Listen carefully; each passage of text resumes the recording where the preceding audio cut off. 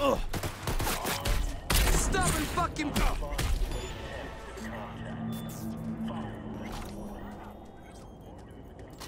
Somebody help!